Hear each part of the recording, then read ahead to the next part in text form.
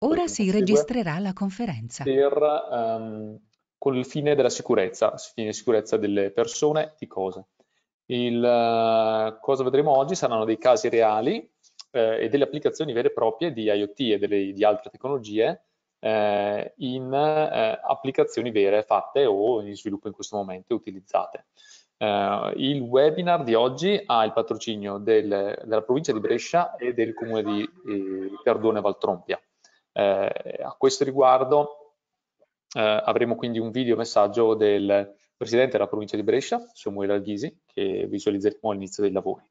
Il, uh, un, prima di iniziare un paio di note sull'utilizzo di questa piattaforma, dovreste vedere sulla vostra destra che avete la possibilità di fare delle domande in una chat, potete fare direttamente ai relatori o pubbliche e quindi si può assolutamente interagire in qualsiasi momento. Eh, domande così ti sono più che benvenuti eh, e quindi vi invito assolutamente se avete delle, delle, domande, delle curiosità a porli e troveremo il tempo di, eh, di rispondere immediatamente un attimino dopo che la domanda è stata posta. Eh, cosa vedremo oggi? Quindi come l'agenda di oggi, eh, quindi come accennavo prima, un, uh, un, messaggio del Presidente della provincia, dopodiché uh, parlerà Giancarlo Turati, CEO di Fasternet, eh, seguirà Quarantini Mauro, amministratore delegato di SECOP,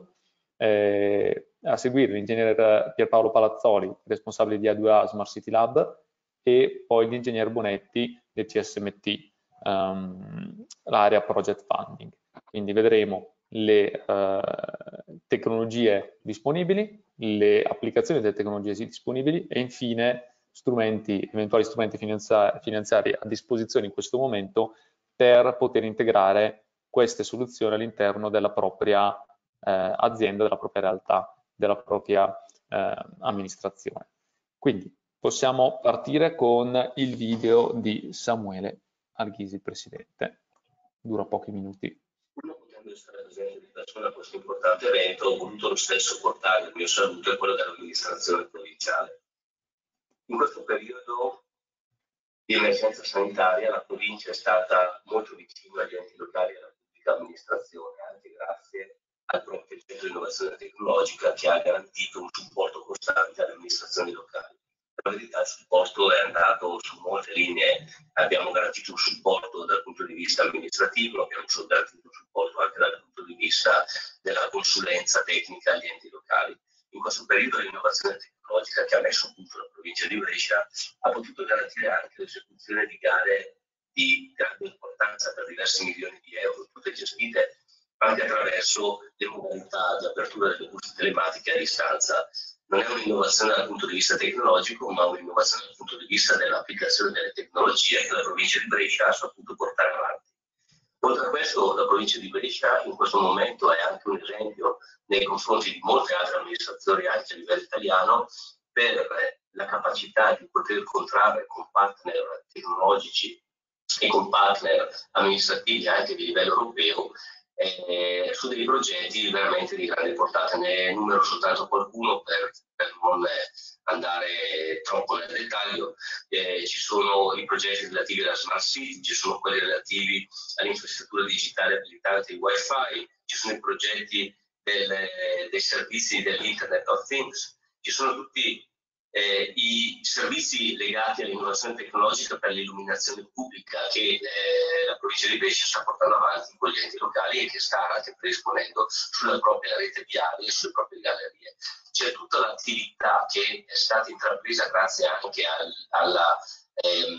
relazione con partner di pari livello, come ad esempio la provincia di Cremona, per quanto riguarda l'attività progettuale. Da qualche tempo a questa parte la provincia di Brescia si è dotata della possibilità di fare eh, delle progettazioni grazie a eh, tecnologie laser scanner che producono modelli tridimensionali utilizzabili anche per delle verifiche dinamiche, ad esempio dei ponti, piuttosto che per progettare in funzione dell'innovazione della, della rete infrastrutturale o anche del patrimonio edilizio. Stiamo cercando collaborazioni con partner che si occupano di innovazione per quanto riguarda eh, l'efficientamento energetico degli edifici del nostro patrimonio, stiamo cercando delle relazioni con i partner stranieri per poter introdurre tecnologie di gestione della viabilità pubblica, cosa che avverrà probabilmente nel prossimo futuro, ma noi ci stiamo già lavorando, ci stiamo pensando. La provincia di Brescia sta garantendo tutte queste attività anche grazie alla sua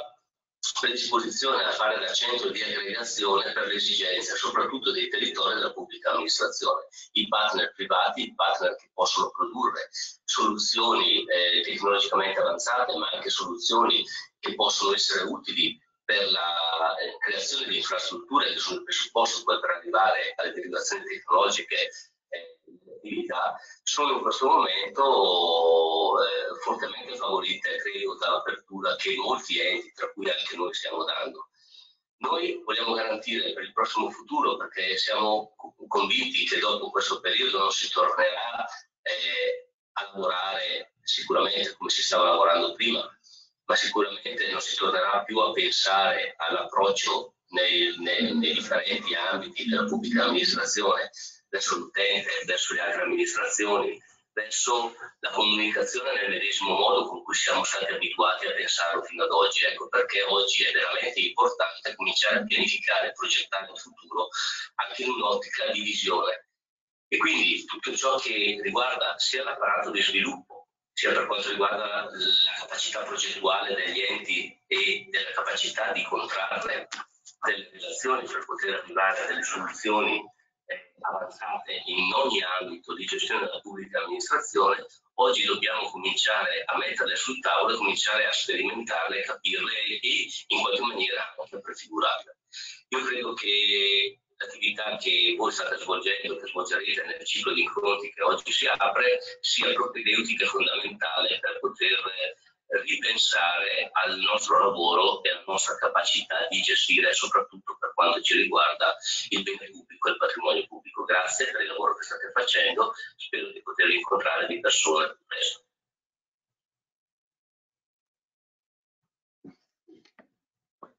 Ok, perfetto. Quindi mh, panoramica sulle attività che la provincia di Brescia sta svolgendo adesso, di cui siamo contenti e soprattutto sottolineamo anche il fatto dell'osservazione che, che, è stata fatta che quando ricominceremo, adesso ripartiremo, sarà una partenza nuova e non un rifare le cose che, prima, che facevamo prima. Quindi in quest'ottica è sicuramente interessante adesso l'intervento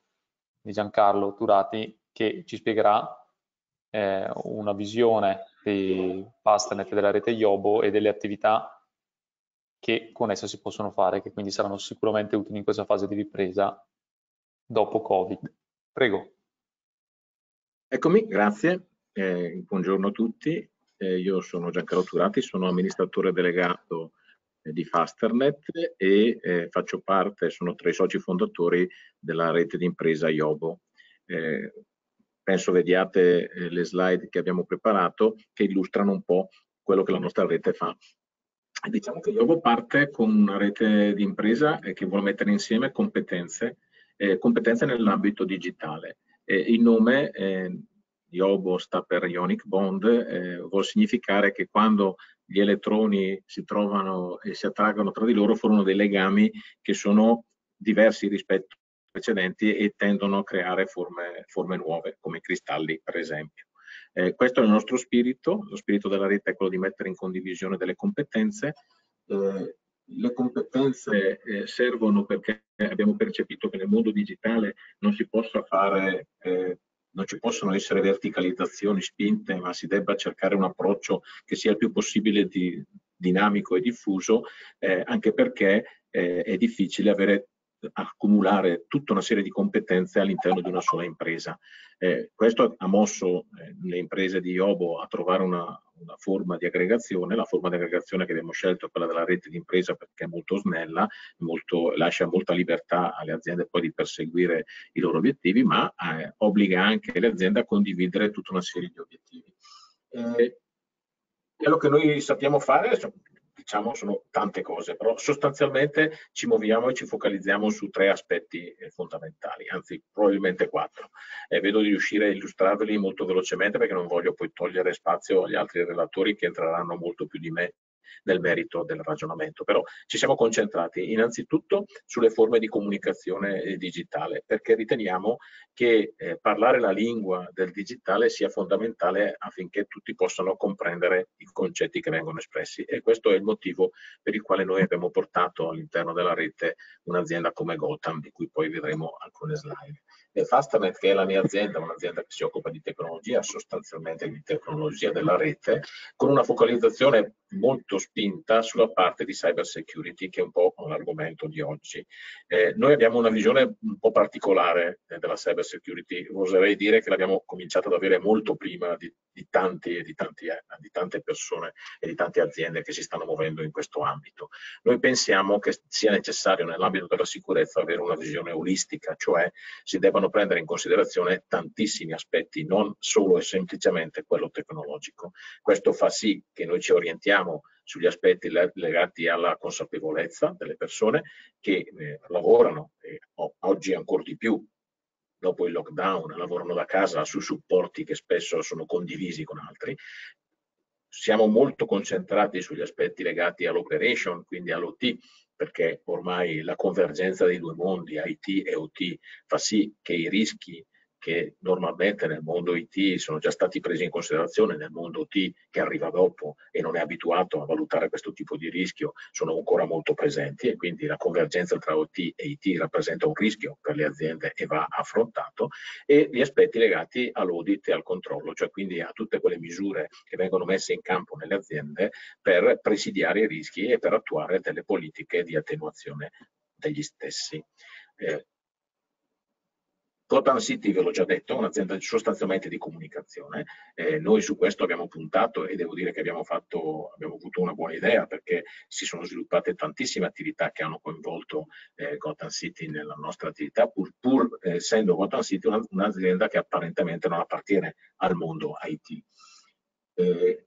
la terza azienda che compone Iobo ed è un'azienda di, direi, di punta in questo momento si chiama Gulliver. Gulliver sviluppa applicazioni. Eh, l'ultima applicazione che ha sviluppato Gulliver è un'applicazione che sta riscuotendo un grandissimo successo e riguarda proprio tutta la parte relativa alla gestione del Covid, sia per quanto attiene alle attività che vengono svolte a, eh, a casa dei singoli o in azienda, sia per quanto riguarda il distanziamento sociale, quindi ci sono tutta una serie di eh, strumenti che permettono di verificare la presenza di persone all'interno di ambienti, il numero delle persone all'interno di ambienti e quindi dare autorizzazione oppure no all'accesso a questi ambienti, la misura delle temperature, la gestione delle informazioni, tutta una suite di eh, particolarità che fanno di questa applicazione un'applicazione che in questo momento sta riscuotendo un grande successo e un grande interesse. Gulliver è un'azienda molto calata nel mondo digitale,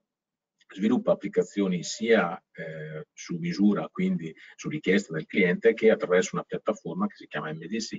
attraverso la quale poi possono essere sviluppate piattaforme di qualsiasi tipo. Devo dire che questa è stata per noi una grande, una grande soddisfazione eh, all'interno della nostra rete. Gulliver è sicuramente un'azienda di grande, di grande successo. Eh, oltre a Gulliver abbiamo 01, che è l'ultima delle aziende che in questo momento fanno parte della rete. 01 è un'azienda che si occupa di servizi IT a, a, a tutto tondo eh, servizi che si possono esprimere attraverso l'utilizzo di un data center, attraverso l'utilizzo del cloud, attraverso applicazioni con un call center, con tutto quello che serve per fornire servizi diciamo di elaborazione dati all'interno del mondo ICT. Ecco, questa suite di aziende però non è chiusa, e questo è un punto che vorrei mettere e sottolineare. In questo momento noi stiamo parlando con altre realtà che hanno chiesto di far parte della nostra rete. Eh, non abbiamo nessuna intenzione di chiudere la rete ad altre realtà, anzi la vogliamo aprire, purché si resti all'interno di un contesto di digitalizzazione e soprattutto in un contesto valoriale che permette alle aziende di condividere quelli che sono gli obiettivi, le finalità e le mission ci siamo resi conto che se le aziende condividono questi aspetti le cose funzionano, quindi si possono sviluppare nuovi business, si possono sviluppare attenzioni, viceversa se eh, non ci sono delle convergenze sugli aspetti dei valori che stanno all'interno delle aziende, probabilmente alla prima occasione tutto si sfalda. Per entrare un po' più nel merito del ragionamento odierno e vado a concludere, eh, io penso che gli aspetti legati alla sicurezza eh, debbano veramente essere visti come aspetti che coinvolgono tutto il nostro modo di essere a tutto tondo. Eh, non è più possibile pensare alla parte di sicurezza relativa alle imprese, alla parte di sicurezza relativa ai dispositivi che le persone usano, alla parte di sicurezza relativa ai sensori che vengono utilizzati per l'IoT, alla parte di sicurezza che viene utilizzata per presidiare i rischi all'interno dei dispositivi che ognuno di noi usa dobbiamo cominciare a ragionare per, un, per, avere un sistema che sia complessivo, cioè che tenga conto dei rischi a tutto tondo e su questi attui delle misure e soprattutto delle procedure che permettano di attenuare i rischi. Eh, lo ricordo sempre a tutti, non è un problema di tecnologia, perché se vogliamo scendere sul campo della tecnologia è una guerra destinata a essere persa puntualmente, perché come si trova un dispositivo che possa attenuare i rischi, la controparte trova un sistema per forzarlo.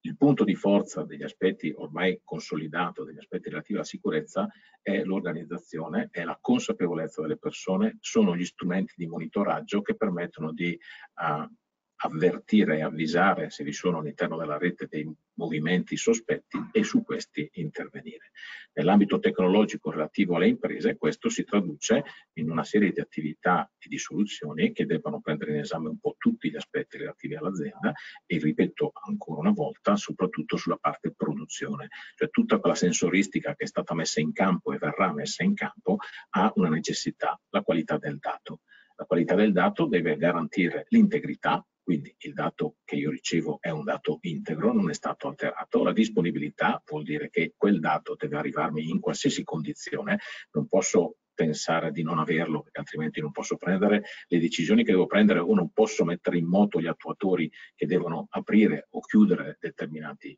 aspetti e il dato deve essere disponibile quindi integro e soprattutto deve avere eh, una qualità tale per cui io non possa pensare che, debba, che sia stato alterato da malfunzionamenti della rete. L'IoT ha introdotto questi aspetti che sono fondamentali. Se io i dati di campo li devo prendere per, prend per, utilizzarli, per prendere determinate decisioni o per dare autorizzazioni a degli elementi dei miei sistemi che debbano essere attivati, devo essere assolutamente certo che quel dato risponda alle caratteristiche che eh, ho detto poco fa. E con questo concludo il mio intervento. Grazie. Grazie mille. Eh, ha visto una bella overview delle, anche delle tecnologie disponibili e del, dell'approccio a queste tecnologie. E passerei direttamente la parola a Mauro Quarantini, amministratore delegato di SECOP, eh, che ci farà già vedere, che ci, mostre, ci parlerà di qualche eh, applicazione reale di tecnologie che abbiamo finora nominato. Prego.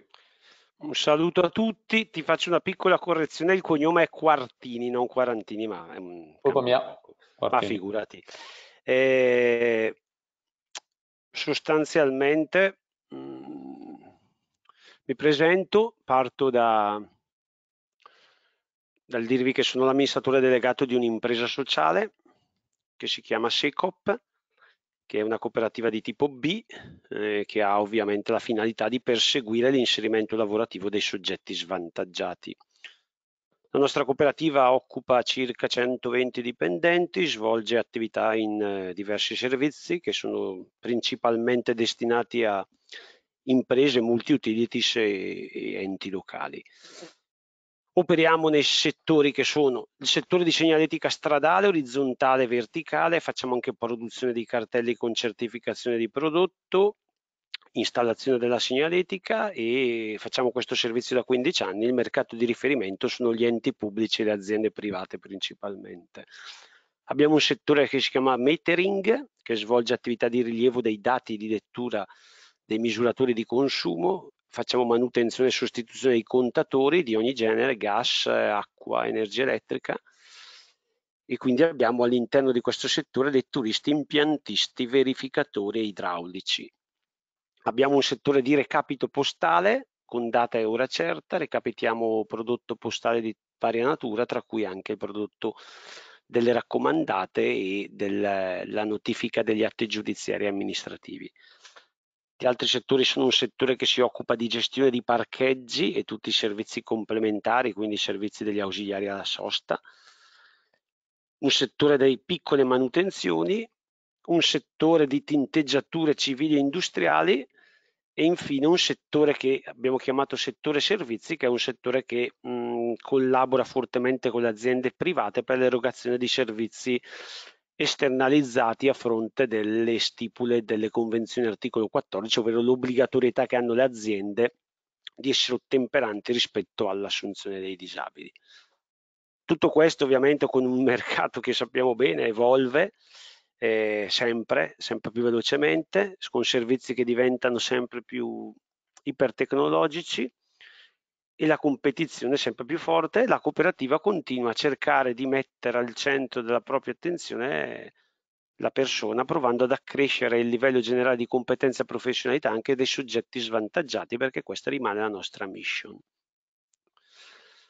Prima di chiudere, vabbè, la cooperativa è dotata di una direzione tecnica, di una certificazione di qualità integrata, le certificazioni SOA, una, eh, in regola con il con decreto legislativo 231 ed è iscritta alla white list presso la prefettura di Brescia. Ho raccontato brevemente insomma mm, quello che, che è SICOP, considerando che ha 25, quasi 25 anni di storia, ma l'occasione della mia presenza oggi è per entrare un po' nel tema che è stato anticipato prima eh, e che ci ha visto protagonisti, nel senso che alla fine del 2018, quando venne pubblicata la graduatoria del bando voucher digitali 4.0, all'interno del quale SECOP aveva presentato il progetto IOS e cui aveva partecipato con le cooperative RG45 e il Gelso, questo bando eh, ci classificammo primi per, al primo posto rispetto alla, a questo bando. L'origine del progetto quindi trova riscontro in incontri mirati eh, allo sviluppo di progetti innovativi attraverso un modello di networking con eh, gli attori chiave del nostro territorio, nonché partner del progetto, quindi parlo di A2A Smart City, parlo della provincia di Brescia, oltre ovviamente a tutta quella che è stata la parte consulenziale di CSMT anche in qualità di soggetto proponente eh, su quel bando. Il progetto mirava ad applicare le tecnologie digitali alle imprese del terzo settore con lo scopo di sviluppare quindi l'utilizzo di competenze innovative,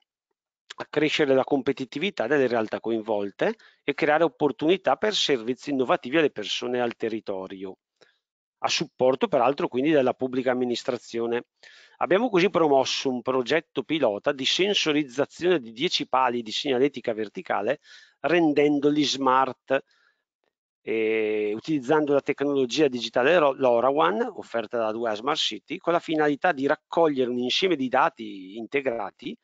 relativi alla temperatura del suolo, alla rotazione, all'inclinazione o all'eventuale abbattimento dei segnali e dove tutta la parte preliminare, quindi parlo di progettazione della rete di trasmissione, caratteristiche dei sensori, verifica copertura e tecnologie è stata curata da A2 Smart City.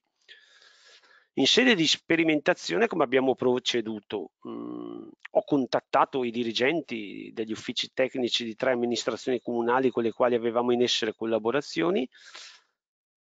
La proposta di avviare il progetto ha trovato fin da subito un riscontro positivo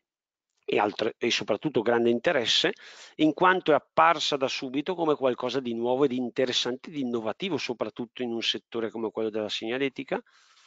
perché partiamo da un presupposto che il concetto di segnaletica stradale ancora oggi viene spesso concepito dalle amministrazioni comunali come una mera gestione di servizi e la maggioranza delle gare di segnaletica infatti non contemplano offerte tecniche. Non è presente un'idea strutturata di monitoraggio e gestione, quindi abbiamo portato un elemento innovativo all'interno di un mercato che oggi non ha mai sostanzialmente, che, che, oggi non ha avuto elementi significativi dal punto di vista innovativo. Parlo soprattutto della, del nostro territorio italiano. È proprio per questo che la digitalizzazione dei servizi è quindi una trasformazione che segna nuovi sistemi produttivi, nuovi modelli di business che sono più veloci e efficienti e che devono essere raccontati, proposti e poi quindi commercializzati. Risultati attesi di questo progetto sperimentale, per il progetto pilota, le attese legate al progetto quindi erano riconducibili ovviamente alla scalabilità su larga scala, all'eventuale trasferibilità su sistemi, su altre tipologie anche di servizi eventualmente, e l'interesse della pubblica amministrazione alla condivisione e sviluppo di ulteriori servizi. Il progetto, per quel che mi riguarda, è apparso assolutamente scalabile e in evoluzio, e, ed in evoluzione ci dovrà portare quindi a perseguire obiettivi di disporre di un insieme integrato di dati relativi allo stato della segnaletica stradale al fine di ottimizzare quindi gli interventi di manutenzione e attraverso quindi la temperatura ambientale, le condizioni climatiche, poter programmare interventi straordinari. Il valore aggiunto quindi è il real time di fruizione dell'informazione, al fine di un intervento tempestivo di manutenzione e di ripristino.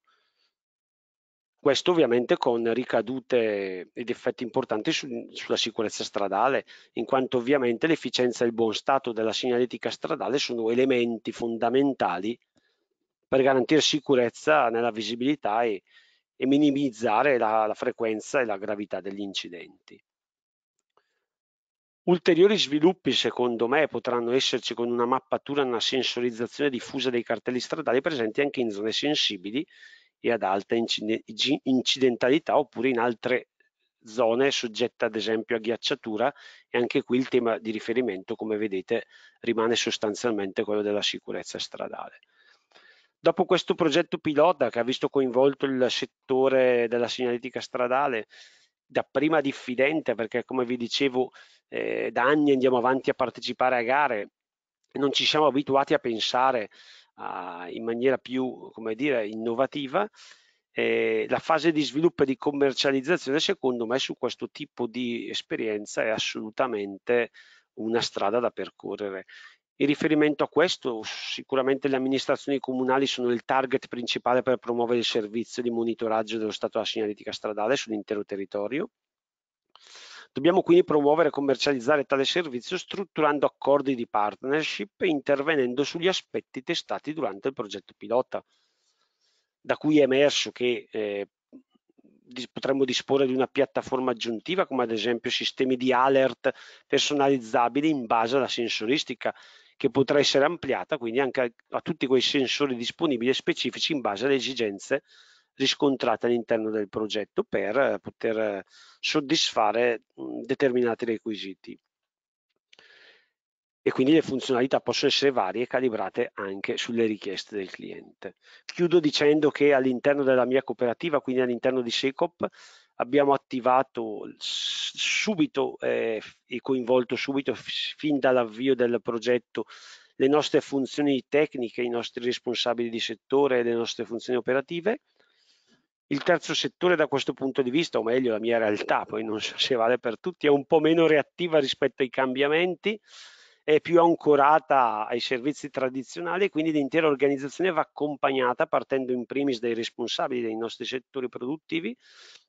ma devo dire che dopo alcune spinte iniziali noi poi ci contra contraddistinguiamo per l'impegno e la perseveranza per il risultato.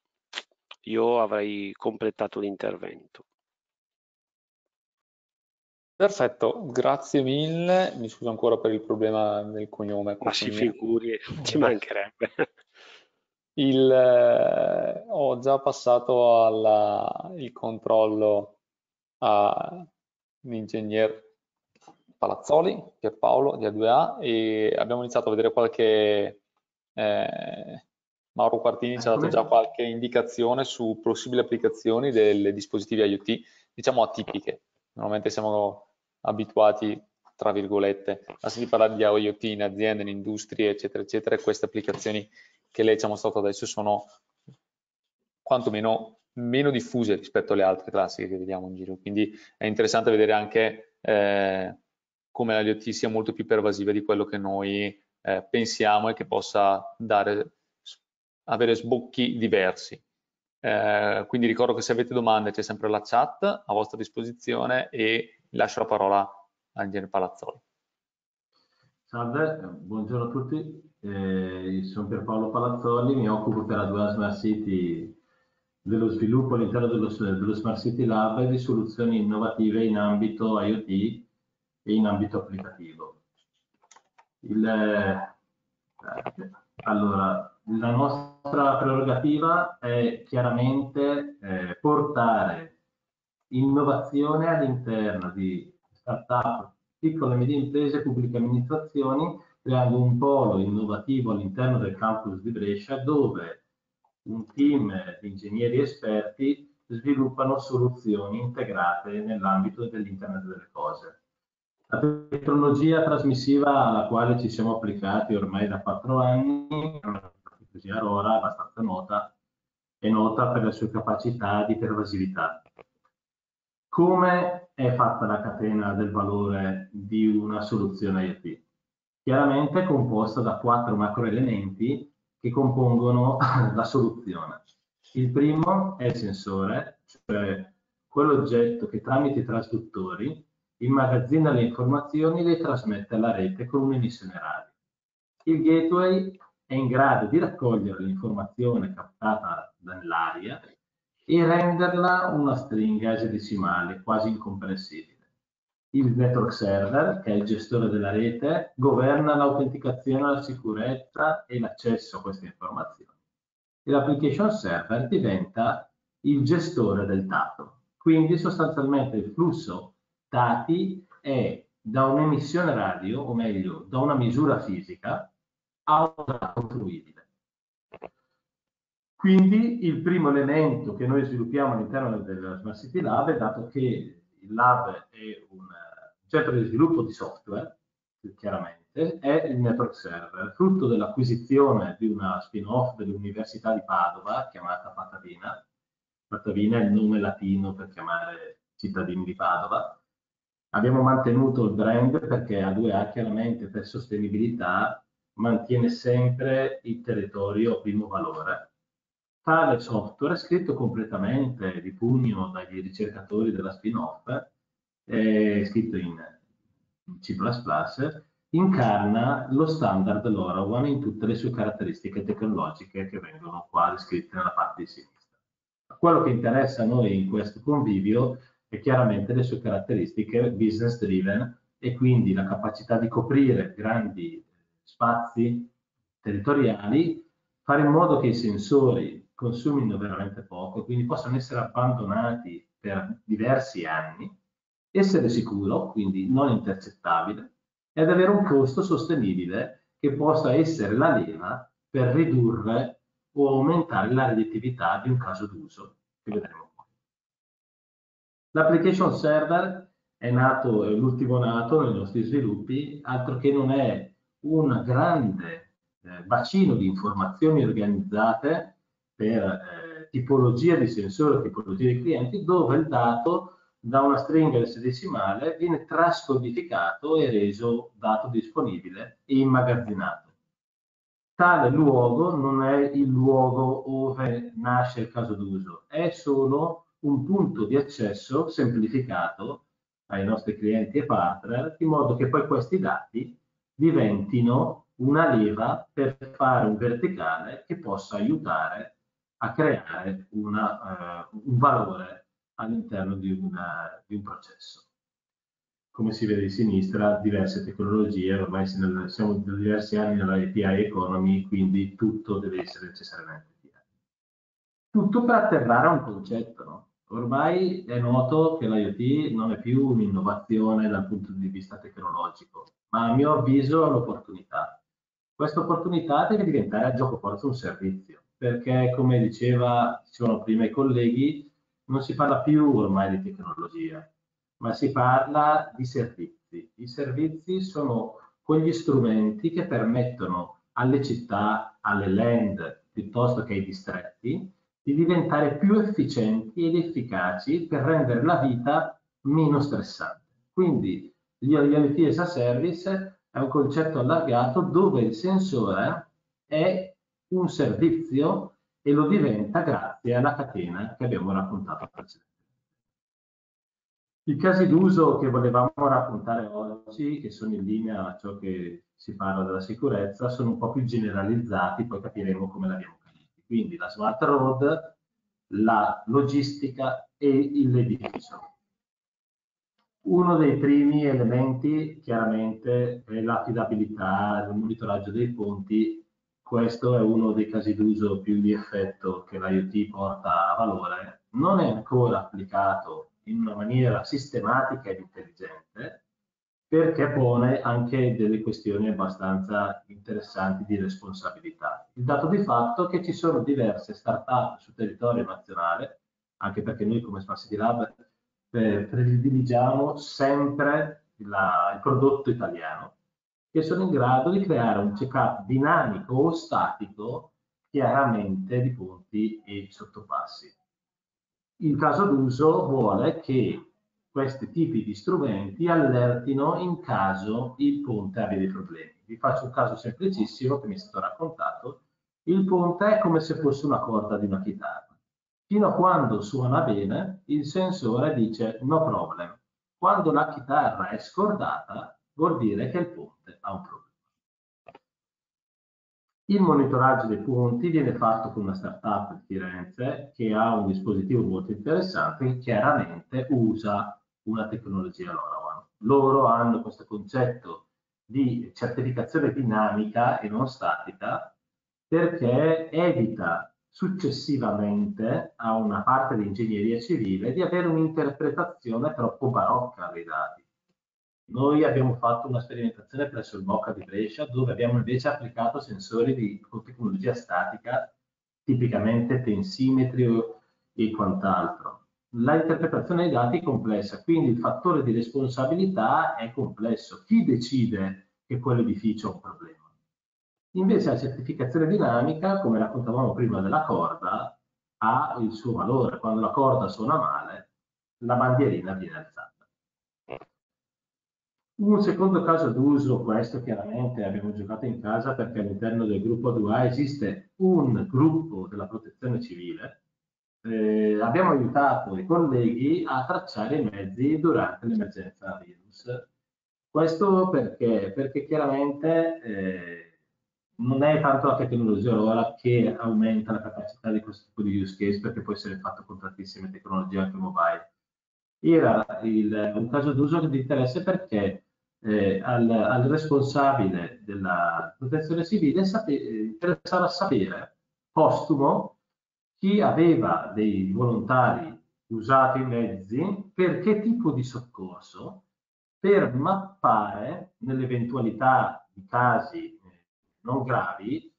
i costi accessori all'uso dei mezzi stessi, chiaramente benzina, autostrade trasporto. Questo avviene anche chiaramente per, per i soccorsi delle varie croci russe blu, no? e questo serve ad A2A perché chiaramente sponsorizzando questo gruppo aveva una capacità, una pervasività maggiore. In più, nell'emergenza virus, chiaramente ogni operatore poteva sapere se c'era un collega in una zona vicina rispetto a vicino a un problema che poteva applicarsi in maniera rapida.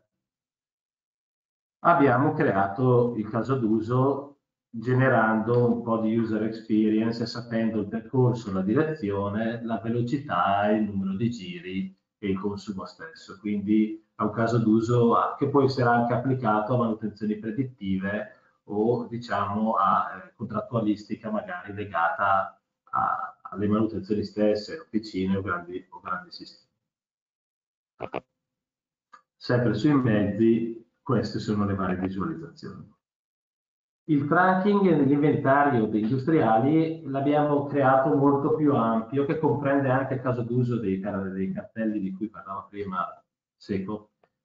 E perché? Perché il geofencing, che non è come il caso precedente tra la tracciatura in tempo reale del, dell'oggetto, può essere anche una, eh, una localizzazione di tipo LASCO o un cambiamento di stato quindi il cartello cade, l'accelerometro scalibra e i gateway di zona rispondono e quindi dicono in quella zona c'è stato un problema, chiaramente poi visivamente uno riesce ad applicarsi. Applicato poi all'industria è la famosa geofencing a zone, no? il famoso localizzazione indoor piuttosto che localizzazione stimata. Quindi in un processo produttivo ci sono quattro zone, sapere se il lotto 27 nella zona 1 non ho zona 25, allora ha un valore, ha un valore per la, per, per predirle quando questa cosa verrà prodotta definitivamente, piuttosto che sapere i costi eh, residui o finora affrontati a produrre questo tipo di oggetto a livello di tempo. In più è applicabile e stiamo lavorando con grandi società di logistica per introdurre un elemento di controllo automatizzato del processo della logistica stessa, che è clusterizzata. Facciamo un esempio sulle nostre poste nazionali, così per essere semplici. Le poste nazionali possiedono delle scatole di primo e secondo livello, chiamate scatole gialle, che abbiamo visto più volte in video in televisione, che contengono a loro volta un numero di oggetti.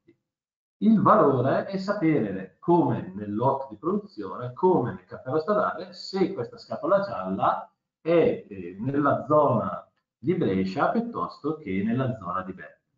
Questo valore chiaramente è legato all'efficientamento, quindi eh, alla perdita di asset, al furto di asset o all'utilizzazione del lavoro degli operativi nella filiera. Quindi un, una gestione di un inventario automatico, un calo dei tempi di fermo e una riduzione dei tempi di produzione. Questo è applicabile a qualsiasi tipologia di oggetto grazie alle caratteristiche peculiari che IoT a basso consumo, con i sensori LoRa e quindi con la possibilità che possano durare anni, dà in prospettiva, quindi un investimento che si spalma sul processo che magari può durare anche per qualche anno, 4, 5, 10 anni. Ho concluso, eh, vi ringrazio, lascio la parola. Grazie mille, grazie mille. Um, allora, abbiamo visto diversi esempi concreti di applicazione di soluzioni tecniche e di applicazioni in campi molto diversi tra di loro, quindi le applicazioni sono sia nella pubblica, nella pubblica sia nel privato e quindi questi sono eh, esempi molto diversi tra di loro che ci fanno avere un ampio ventaglio delle idee e delle possibilità che ci sono in questo momento con IoT, ehm,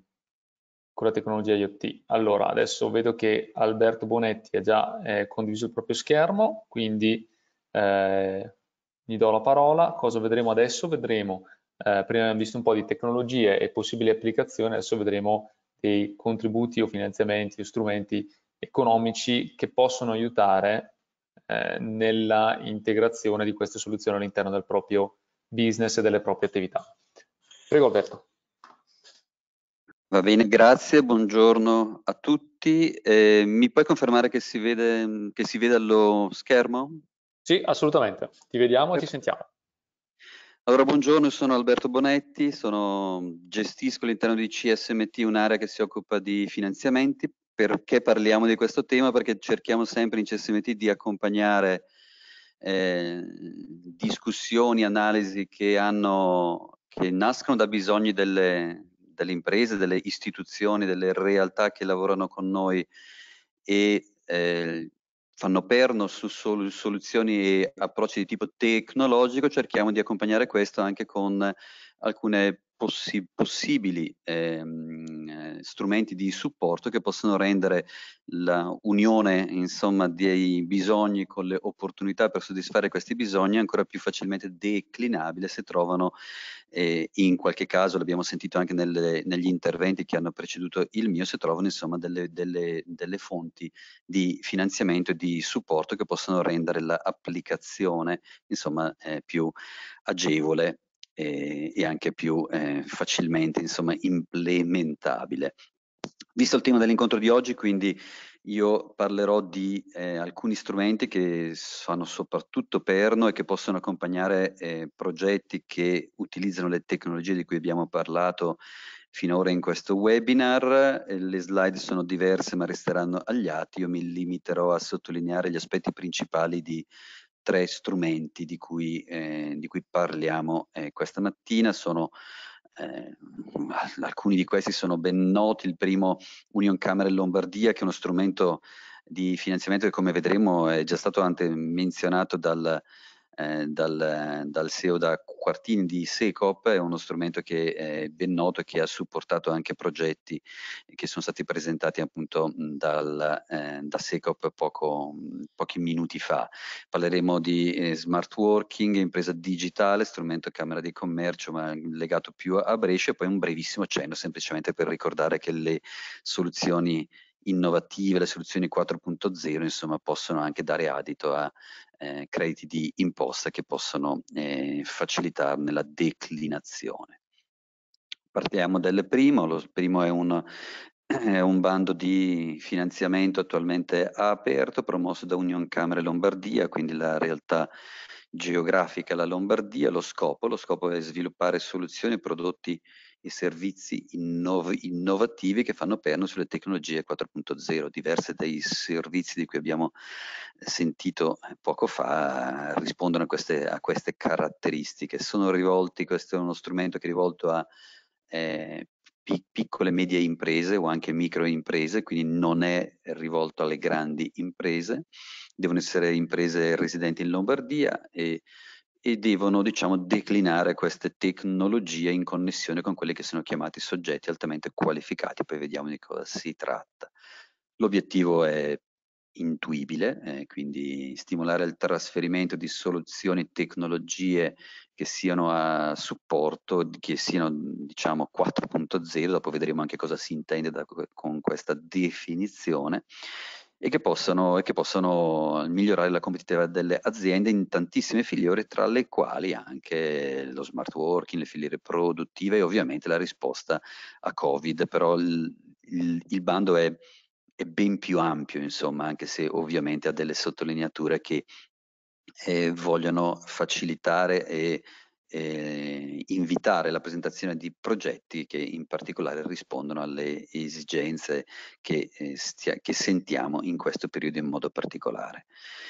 Ecco, eh, la sostenibilità e anche la parte green è che comunque un altro elemento eh, molto importante eh, in questo strumento, quindi che verrà premiato in modo particolare.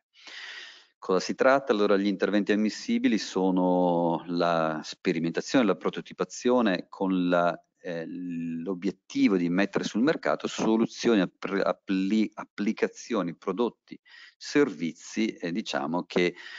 eh, rientrino o che facciano uso di una serie di tecnologie 4.0 eh, che sono molto ampie. Qui vediamo una prima lista, ma come vedete sono terribilmente ampia, si passa dalla robotica alla stampa 3D, la manifattura additiva, la prototipazione rapida, realtà virtuale, realtà aumentata, interfacce uomo-macchina, sistemi cyber fisici che hanno all'interno tutto quanto insomma, che, che connette l'uomo con le macchine, eh, si parla di, di internet delle cose, cloud, com computing, cybersicurezza, business continuity, big data, supply chain, eh, ottimizzazione dei processi aziendali, intelligenza artificiale, blockchain, insomma direi che mm, c'è c'è davvero tanto all'interno della definizione 4.0 così come viene interpretata da questo bando. Non solo, ci sono poi anche eh, applicazioni, un attimo che vediamo come, ok, anche applicazioni più tradizionali, anche se comunque sono eh, una componente eh, agevolante insomma delle 4.0, quindi sistemi di e-commerce, sistemi di pagamento, geolocalizzazione, ovviamente mh, nessuno si attende che un progetto tratti eh, più di un settore, è sufficiente che un progetto tratti uno di questi settori per poter essere insomma preso in considerazione all'interno di questo bando un bando che appunto conosciamo abbastanza bene, già Quartini di Secop ha sottolineato quanto il progetto che abbiamo avuto il piacere di coordinare ormai un paio di anni fa sullo stesso tipo di bando che riuniva le tre realtà che state menzionate, Secop, RJ e il GES, si sia eh, posizionato con eh, CSMT che ha avuto appunto il piacere di essere eh, eh, coordinatore dal, della proposta in sé, quindi eh, strumento per presentare la proposta in sé, si è classificato primo all'interno di una eh, lista di più di un centinaio di progetti. il contributo non è altissimo, però comunque di un certo interesse, può arrivare a 50.000 euro come contributo a fondo perduto pari al 50% dei costi ammissibili, quindi sono progetti diciamo di media piccola taglia, chiamiamoli così, ma all'interno di tecnologie di questo genere comunque lasciano un buon agio per sperimentare nuove, nuovi approcci o comunque approcci originali rispetto al settore in cui si vengono applicati. Costi, quali tipo di costi vengono accettati? Vengono accettati i costi appunto erogati di, di, consulenza, erogati da fornitori qualificati, non è solo CSMT che abbiamo indicato come esempio, ma per esempio rientrano anche le grandi imprese, la stessa A2A Smart City è uno di questi, piuttosto che eh, anche startup innovative e, e, e, altri centri di ricerca, diciamo, eh, certificati dal Ministero oppure costi di formazione, ancora una volta da fornitori qualificati, CSMT ma anche, ma anche altri che, che, fanno parte degli albi eh, ufficiali, investimenti in attrezzature, quindi in, in hardware e in software che sono disponibili sul mercato in sé, piuttosto che investimenti in hardware e software che vanno sviluppati in modo customizzato e in questo caso ancora si deve fare riferimento all'elenco dei fornitori qualificati, spese proprietà in di, della proprietà, di tutela della proprietà industriale e spese di personale dell'azienda che hanno un qualche vincolo che bene o male, come vedete dalle formulette sotto, insomma, diciamo che limitano più o meno tra il 20 e il 30% il costo del personale interno che si può spesare, il resto deve far parte o di consulenza o di hardware, di software o di formazione. Bene, eh, la scadenza è tra non moltissimo tempo, anche se la procedura è abbastanza leggera, quindi la si può gestire con buona eh, insomma ancora con buon agio se, se, interessa, è il 30 di giugno, eh, i costi saranno eligibili e lo sono già anche retrodatati da marzo fino a luglio dell'anno prossimo, è una procedura valutativa e quindi vuol dire che raccolgono tutte le richieste di finanziamento entro il 30 di giugno, ne danno una eh, una valutazione qualitativa, un punteggio e poi finanziano quelli che hanno passato il punteggio, insomma, che è, che è considerato il minimo accettabile. Eh, entro il 30 di settembre verranno annunciate il, i progetti che otterranno questo contributo. Bene, un secondo invece è un più, più, piccolo, se vogliamo in termini di dimensione e anche in termini di focus, comunque in via breve senza dubbio eh, merita attenzione, è un contributo Camera di Commercio di Brescia, quindi parliamo ancora di ambito camerale ma non più a livello lombardo ma a livello bresciano, qui ci sono 3-4 misure, eh, sono bene o male tutte ruotano intorno allo smart working e alla diffusione delle tecnologie digitali all'IoT, quindi il 4.0 è fortemente il benvenuto. Eh, parla di eh, contributi a fondo perduto, anche in questo caso un po' più contenuti come vedremo tra un attimo in termini di valorizzazione, che comunque eh, fanno riferimento a costi eh, eh, sopportati dalle aziende nel corso del 2020, quindi da gennaio a dicembre del 2020. Ci sono diverse misure, eh, alcune finanziano come la misura 1 eh, dà un contributo a fondo perduto per servizi di consulenza e di formazione, mirate però allo smart working e anche all'acquisto di strumenti per lo smart working. La misura 2, scusate se vado un attimo veloce, ma le slide poi saranno disponibili, potrete ovviamente sia fare domande in, a valle del webinar e o anche in seguito. Misura 2 è forse quella più interessante, anche perché è quella più ricca e quindi dà contributo a fondo perduto per, eh, per consulenza, per formazione eh, in tema di eh, digi digitalizzazione. Eh, queste sono consulenze e formazioni che possono essere fornite da, eh, diciamo da ehm, erogatori anche in questo caso qualificati ma con una eh, qualifica più ampia rispetto al bando Union Camera e Lombardia. Per esempio tutti quanti hanno, sono stati registrati e certificati dal Digital Innovation Hub sono dei fornitori eligibili eh, per quanto riguarda la consulenza e la formazione che può essere erogata all'interno di questa misura 2 che comprende anche tra l'altro anche questa hardware e software per la digitalizzazione. C'è una terza misura che parla, che dà contributi per, in particolare per la parte di, di siti web, e-commerce, web marketing, insomma per la presenza web dell'azienda. Una quarta misura, la misura 4, che eh, parla di anti-intrusione, videosorveglianza, si, sicurezza in, termine, in, termini proprio fisici, insomma, tel, telecamere e altri strumenti per la sicurezza aziendale. L'ultima misura, mi sembra sia l'ultima almeno, riguarda anche la, l'abbattimento dei consumi energetici e impatti am, ambientali. Bene, eh, questi questo riguarda poi tra l'altro nel dettaglio, ci sono diverse attrezzature di, che ottimizzano i consumi energetici eh, che sono eh, eligibili e i beni hanno comunque tutti una caratteristica di tipo digitale, devono avere delle tecnologie digitali o di controllo di uso o di monitoraggio, quindi l'elemento digitalizzazione è sempre presente all'interno delle misure di questo strumento di Camera di Commercio. Dicevo chi può fornire i servizi, come vedete, è abbastanza è molto più ampio rispetto al banda, al, allo strumento precedente, il parco, soprattutto si aggiungono appunto eh, quanti sono riconosciuti dal Digital Innovation Hub, i centri di ricerca con, con trasferimento tecnologico, incubatori e, e anche eh, altre realtà che sono registrate sugli albi di, della formazione.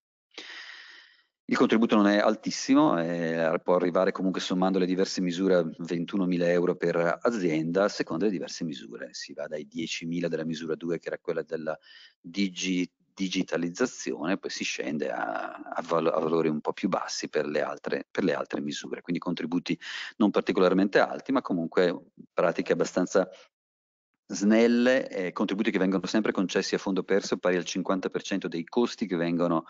eh, assunti. Eh, come ho detto prima, le, i costi possono essere eh, diciamo, assunti lungo l'intero arco del 2020, le domande sono aperte a sportello questa volta, non a valutazione fino alla fine dell'anno. A sportello quindi, quindi verranno, eh, lo sportello è aperto, la dotazione finanziaria è buona, quindi si presuppone possa restare aperto ancora eh, per un buon periodo eh, fondamentalmente, tra l'altro, la domanda di contributo la si, può, eh, er, la si può emettere solo a consuntivazione, cioè prima si assumono i costi e dopo si fa la domanda di contributo alla, alla Camera di Commercio. Quindi le spese devono essere già state sostenute al momento in cui si presenta la domanda. L'ultimo tema che faccio scorrere in modo abbastanza veloce, so benissimo che è noto perché di credito di imposta si parla ormai da cinque anni, dal 2015, anche se è cambiato un attimino veste, però comunque vale la pena sempre ricordarlo perché qualche azienda che, che aziende che non lo conoscono ancora ce ne sono e, che, e, quindi è opportuno sottolineare che in particolare per le tecnologie 4.0 che sono l'oggetto dell'incontro di oggi ci sono diversi crediti di imposta che sono attivi e che semplicemente ricordo in modo molto veloce in queste ultime poche slide. Il primo è quello ben noto, credito imposta ricerca e sviluppo, che è pensato appunto per stimolare ricerca, lo sviluppo, ma inteso anche come innovazione tecnologica, eh, accetta e accoglie in, in particolare progetti insomma, che, eh, che vengono eh, che ruotano intorno alle tecnologie 4.0. Qui vi ricordo che si, si tratta di credito di imposta, quindi non è più un contributo a fondo per, perso, ma ancora meglio è, una, è, un credito che si sconta sulle imposte, qualsiasi tipo di imposta che viene erogata tramite F24 nell'anno che fa seguito alle spese. È, è molto efficace proprio perché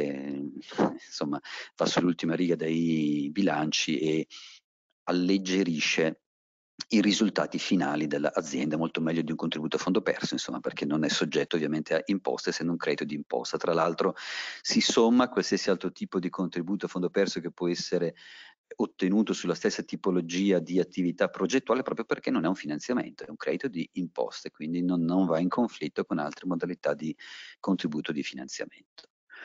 Eh, il beneficio non è altissimo, è stato abbassato eh, quest'anno, insomma nel 2020, ma è comunque un beneficio che ha delle caratteristiche importanti. Le percentuali potrebbero sembrare particolarmente basse, il 12% in ricerca fondamentale, il 6 fino al 10% in, in 4.0, però tenete presente che da quest'anno, a differenza del credito d'imposta dell'anno scorso, queste percentuali vengono calcolate sugli investimenti complessivi che l'azienda fa in quel tipo di ambiti, non c'è più nessuna comparazione o nessun calcolo di, in termini di spesa addizionale rispetto a periodi passati e quindi un 10%, un 12%, un 6% possono essere una percentuale che dà adito a un credito di imposta importante, soprattutto per aziende che in queste tecnologie magari investono cifre che possono essere non marginali. C'è anche un contributo sul design, sull'ideazione estetica. E c'è da dire che eh, il credito d'imposta, eh, come lo era anche nel passato, vive soprattutto di, eh, diciamo, di attestazione della, della qualità della, eh, della, qualità della eh, ricerca e dell'innovazione che viene portata al, al, all'interno e quindi eh, come sapete il, il credito di imposta ricerca e sviluppo, perché quelli che lo conoscevano era, eh, soprattutto fino all'anno scorso, ehm, abbastanza eh, ristretto sulle attività di ricerca, così come vengono definite dal manuale di Frascati, da quest'anno ci sono percentuali più basse, però c'è non solo un imponibile di costi maggiore, come ho già detto, ma vengono anche accolte le attività di innovazione, cioè dove eh, l'innovazione della tecnologia che, si, eh, che viene presentata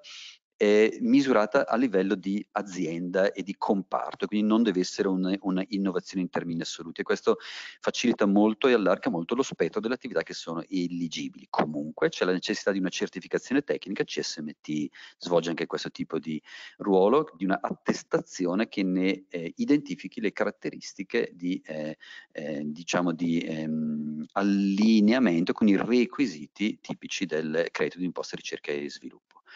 Velocemente. Chiudo ricordando che ovviamente esiste anche quest'anno e continuerà a esistere, ha cambiato semplicemente natura anche quello che è un credito di imposta per investire anche non solo in tecnologie, in competenze, in consulenza, ma anche in beni, industria 4.0, è ben noto, si chiamava iperammortamento fino all'anno scorso, da quest'anno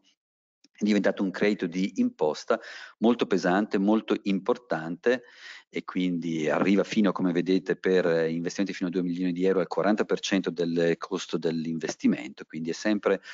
uno strumento fortemente incentivante per l'acquisto di beni strumentali e anche di tecnologie che accompagnano i beni strumentali e di applicazioni industria 4.0. Eh, si parla di gennaio, c'è sempre la necessità di una perizia tecnica, CSMT svolge anche questo tipo di ruolo, è una perizia tecnica che attesti la caratteristica 4.0 di questi macchinari che fondament fondamentalmente, come sappiamo bene tutti, implica che questi macchinari debbano essere effettivamente connessi, gestiti in modo remoto e con tecnologie 4.0. Eh, menziono solo che poi esiste anche un credito di imposta sulla formazione 4.0, quindi per accompagnare le tecnologie non solo con consulenze, non solo con investimenti, non solo con l'apparecchiatura, ma anche con form formazione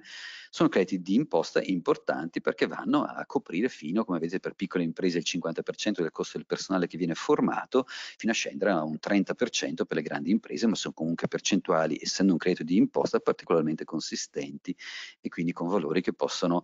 eh, che possono insomma, raggiungere livelli eh, senza dubbio molto interessanti. Esiste poi qualche altro credito di imposta, per esempio per fiere internazionali, al massimo fino a 60.000 euro, pari al 30% delle spese, piuttosto che per le spese di tipo pubblicitario, eh, quindi per imprese che sempre su questi temi, anche del 4.0, vogliono investire in campagne di eh, comunicazione, promozione, disseminazione, sono crediti comunque importanti perché arrivano al 30% del costo delle spese in investimenti pubblicitari eh, fatte tra l'altro durante il, il corso dell'intero anno e qui era stato tolto un tetto di spesa che c'era nella precedente versione che invece adesso è stato allargato. Io mi fermo qui avrete ovviamente la possibilità di eh, ottenere se vorrete le slide e poi di poter avere ulteriori dettagli in seguito eh, se avrete interesse rispetto a, a uno o più di queste opzioni. Grazie. Ok, grazie. Grazie, grazie Alberto. Allora, il, um, è stata una bella panoramica, sono tanti i, gli strumenti a disposizione, sono tanti ancora ne usciranno probabilmente nei prossimi mesi e quindi questi strumenti devono essere, sono e saranno uno strumento per poi eh, aiutare le aziende ma anche a eh, realizzare tutti i progetti di cui abbiamo parlato precedentemente. Quindi assolutamente la cosa, tenendo conto che è un po' complessa e che fare una, una lista è, sembra sempre un po' asettico e quindi è anche per questo che il ruolo del CSMT è quello anche di dare, come abbiamo fatto con l'esempio precedente con SECOP, supporto nel individuare lo strumento migliore per realizzare l'innovazione all'interno dell'azienda eh, innovazione che può essere fatta con tutti gli strumenti che abbiamo visto precedentemente. Quindi ci sono alcuni mh, spunti di riflessione che volevo magari proporvi, che mi, mi sarebbe piaciuto avere la vostra opinione. Per esempio, una cosa che mi è venuta in mente, di cui avete parlato e che in chat è stata, ci sono stati un paio di appunti a riguardo, è il fatto, mh, cerco di riassumere un paio di discussioni sulla chat, che eh, queste tecnologie IoT danno, eh, possono essere applicate, abbiamo visto delle applicazioni molto diverse tra di loro, eh, forse c'è, eh, mi pare di leggere tra le domande, la presun- la presunzione, l'ipotesi che queste tecnologie IoT siano risolutive di per sé eh, e non si fa molto riferimento magari alla parte di eh, formazione o di know-how o di eh, conoscenza che è necessaria per poterle utilizzare in maniera opportuna. Adesso mi viene in mente l'esempio eh, classico dei classico, l'esempio che è stato portato prima dei ponti che, in cui i sensori si danno una lettura ma che questa lettura deve essere poi interpretata. E lo stesso un po' per tutte le altre eh, gli altri sensori di cui abbiamo parlato, dalle cartellonistiche, eccetera. L'informazione, il dato di per sé deve essere poi trasformato in un'informazione utile. E, e, e anche eh, Giancarlo Turati prima parlava di formazione, eh, anche se era più relativa alla, alla, sicurezza, eccetera, però che eh, le tecnologie IoT da sole funzionano, sono a servizio delle persone, quindi le persone devono essere in grado di utilizzarle in maniera opportuna, altrimenti a poco servono. Allora, volevo mh, da parte vostra, se avete una, una, una, riflessione su questo spunto e per dire le, sulle prossime possibili applicazioni eh, IoT che possono essere più pervasive o di utilizzo delle, delle persone, quindi diciamo utilizzo per, le, per la pubblico eh, e quindi conseguentemente la eh, formazione e la consapevolezza che è necessaria per poterle utilizzare. Non so se voi avete dei commenti riguardo.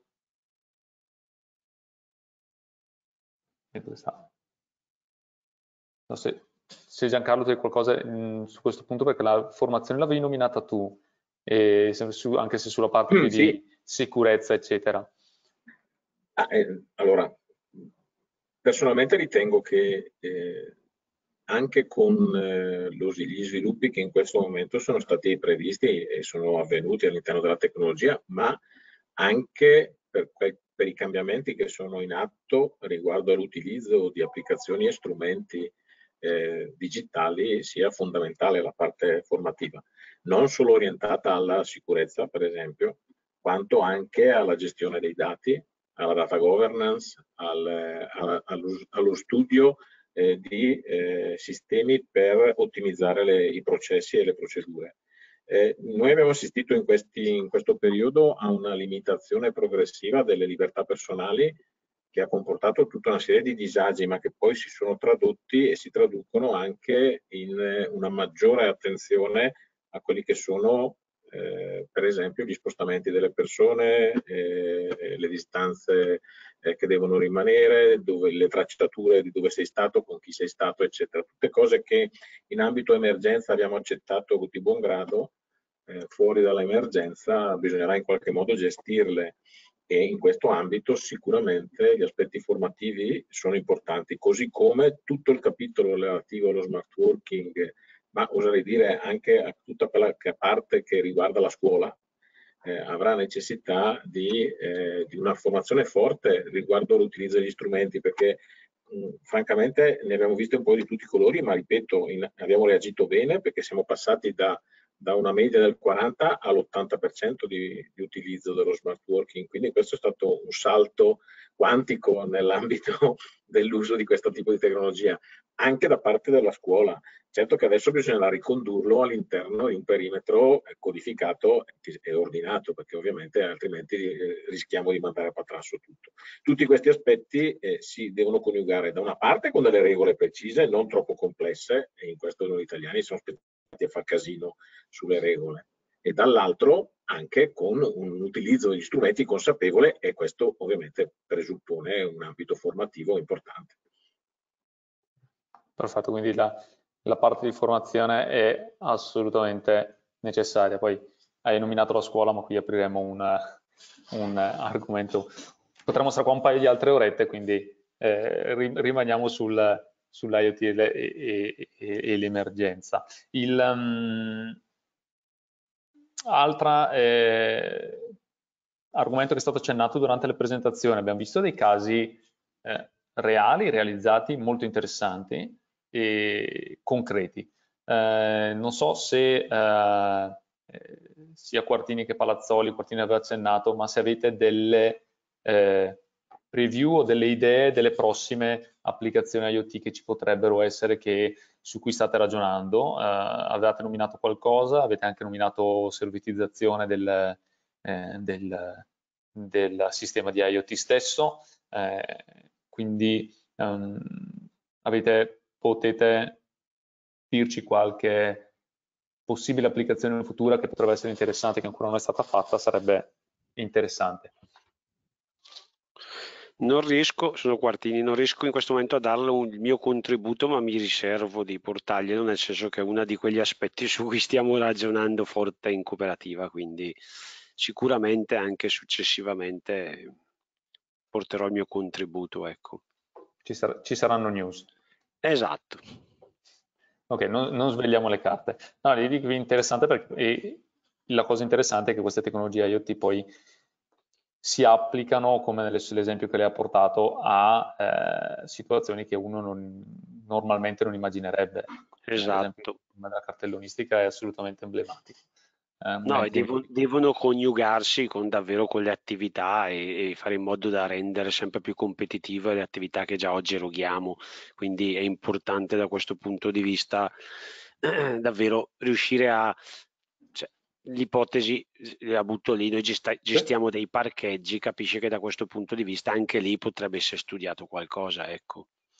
Okay, mi diventa più difficile pensarlo sui servizi che eroghiamo oggi. Facciamo un recapito postale dove già geolocalizziamo il portalettere e la, e la, e la busta in fase di, di, consegna. Facciamo un servizio di rilievo dei consumi dei misuratori e già oggi geolocalizziamo il, il, dire, la, il punto dove si trova il contatore e fotografiamo e quindi il misuratore stesso, oltre a inserire il dato, rendiamo disponibile all'utilities anche in caso di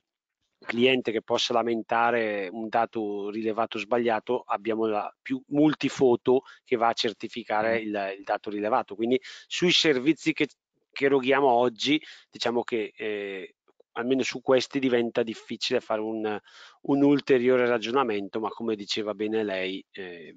non, non, come dire, nulla è impossibile, insomma, ecco.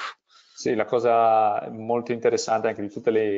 gli esempi portati è che sono esempi di installazioni di, di, di IoT e quindi di aggiunta, tra virgolette, di, di, intelligenza, di estrazione di informazioni su sistemi già esistenti. Cioè, non, esatto. sono, eh, nonostante ci siano tutti i finanziamenti già nominati prima per delle macchine, ma, nuovi macchinari, industria 4.0, mm. eccetera, ma il grosso delle attività possono essere svolte eh, aggiungendo sensoristica e digitalizzando delle parti che magari digitali non sono, i ponti, cartellonistica, eh, informazioni parcheggi, eccetera. E quindi questo qua può essere una, una grossa leva per migliorare le prestazioni eh, aziendali o dei processi eh, con la ripartenza. Questo sicuramente non è troppo economicamente impattante e probabilmente avrà un, un ritorno dell'investimento abbastanza rapido, quindi le aziende e tutte le, le amministrazioni potrebbero pensare sicuramente in ottica di contenimento dei costi, miglioramento dei processi. Eh, non so se l'ingegner Palazzoli anche mh, può, non è coperto a segreti professionali, può dirci qualche eh, progetto su cui stanno lavorando, ma lo vedo online ma non, non ci risponde. Ecco, io con questi ragionamenti avrei un po' completato le, gli spunti che erano arrivati dalla chat. Mm, se non avete altri contributi da aggiungere, in chat non, in questo momento non sta arrivando, non mi viene richiesto nulla di particolare, se avete delle domande siamo qui a disposizione, eh, però direi che abbiamo abbastanza esaurito i, i, gli argomenti, secondo me. Uh, vi ricordo che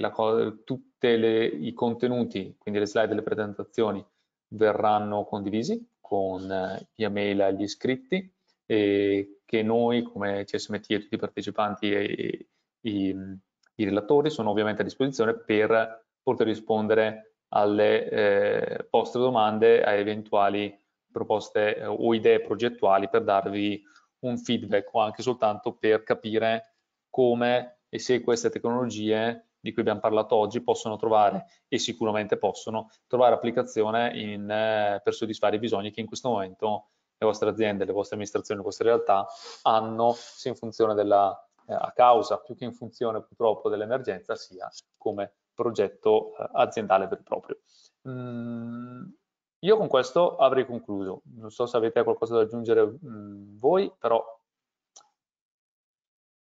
mi riterrei abbastanza soddisfatto. Quindi eh, ho fatto poco meno di un'oretta e mezza, quindi un webinar rapido, ovviamente siamo a disposizione, queste sono soltanto pillole, un overview su quello che eh, le tecnologie e le aziende che abbiamo parlato oggi possono mettervi a disposizione.